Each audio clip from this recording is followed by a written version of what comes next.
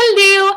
So I just wanted to do a really quick outfit of the day right before I like left for the restaurant. Um, I'm just going out with a couple people. And um, I'm wearing this motocross jacket. It's kind of grayish color. With this plaid shirt. You might have seen it in the review video. I didn't actually go out that day because it was snowing and it got canceled, the event I was going to.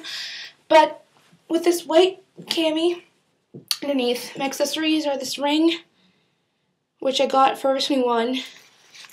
This watch, I got Target.